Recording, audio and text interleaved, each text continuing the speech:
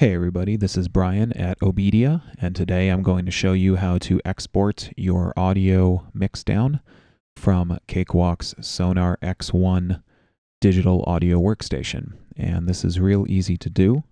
So let's jump right into it. This is pretty much going to be the same uh, also on previous versions of Sonar.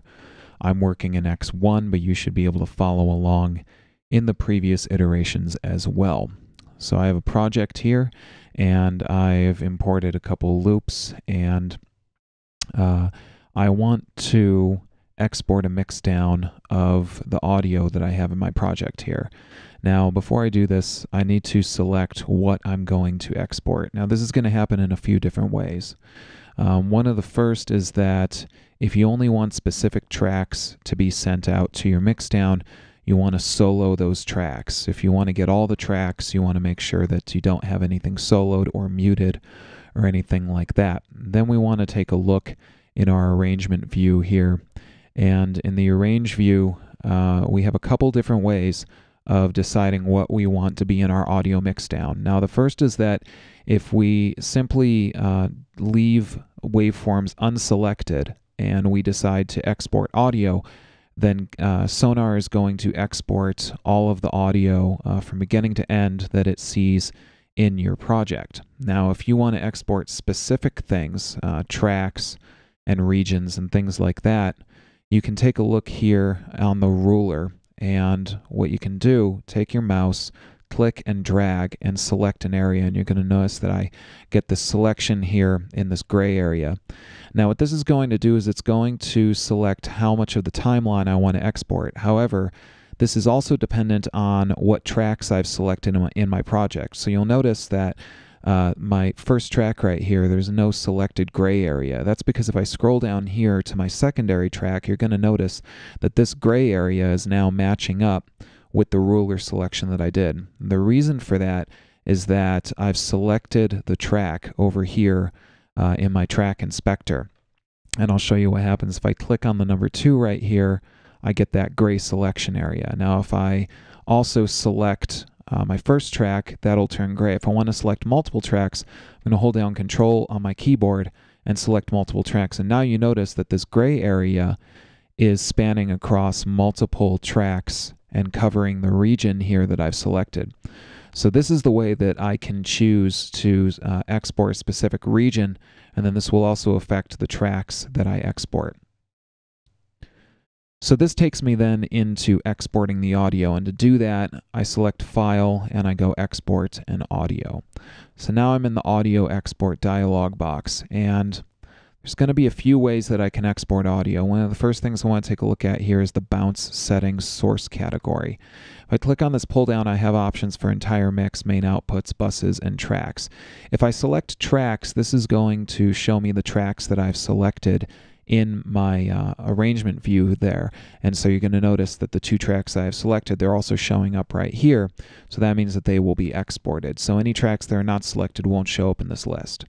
Now I can do the entire mix by just selecting entire mix. And what this will do is do a mix down of every track that is active in my project. I also have the option for buses if I want to simply bounce my buses down and um, and then I can also select my main outputs. And main outputs will also bounce uh, any audio that is going out through my main outputs. So that would include buses and FX sends and things like that. So that's one thing that you want to take a look at. You also want to set your channel format if you want to do mono, stereo, or split mono. Mono, of course, will give you a mono mix, stereo will be a stereo mix, and split mono will give you a left and a right output of your project that you are working with set your sample rate. If you're going uh, to mastering, you're probably going to want to stay somewhere where around 48 uh, kilohertz or maybe a little higher if possible. If you're going to CD, you can go to 44.1 kilohertz. This is the same for bit depth. If you're going to still be mixing this uh, song in some various ways, mastering it, you'll want to keep your bit depth somewhere between 24 and 32. That's because you're going to get more headroom for doing your mixing and um, that makes it a little easier to mix in most audio workstations. However, if you're going out to a CD, if this is your last mix, you probably want to select 16-bit. So I'm going to stick with CD quality right here. Dithering, you can leave it rect- rectangular, triangular if you want. If you don't know what dithering is, dithering essentially adds a little bit of noise to your final mix down to compensate uh, for some of the digital noise that can uh, be created in any form of digital audio. And uh, so you probably won't notice a lot of the effects of dithering, but usually rectangular or triangular dithering will treat you just fine. Now finally here I have the option uh, for preset. If I click here on preset, there's a lot of different presets that I have access to. Um, and these are all going to affect what I'm going to get out of my mix. So raw tracks, raw tracks with no automation, um, what I hear, um, and then you know, what you hear live input, real time audibles. So there's a lot of different ways that you can export your mix down here. I usually just select all because I want to get my entire mix mixed down. But if you want to be very specific about what you're going to hear, you can use a preset or you can here in the mix enables section take a look and you can disable or enable some of the various features that you have access to. Now, the last thing that you can do, of course, this is where you're going to take a look at files of type.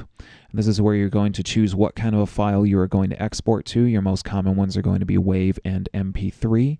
Uh, however, you also may find that you want to go to AIFF or another different file format, that is where you can choose what file format you would like to use. Now, one thing I should mention about exporting to MP3, which of course is a very popular format to export to, is if you select MP3, you need to unlock the MP3 exporter uh, for Cakewalk, and this can be done via Cakewalk site. It's an additional uh, add on which you add on to Sonar. If you choose not to do that, you can simply export to WAV and then convert your WAV file to an MP3 using a program of your choice.